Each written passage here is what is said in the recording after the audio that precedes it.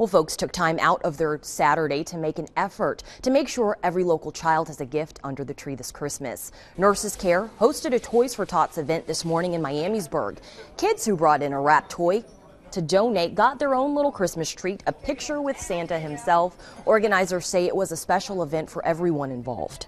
Great sense of accomplishment and uh, satisfaction knowing that we're doing something other than, you know, fighting for our country or, you know, doing the day-to-day routine. We're actually making a difference in the community. You can still donate to Toys for Tots. Head on over to our website. We have a link there for you of different drop-off locations.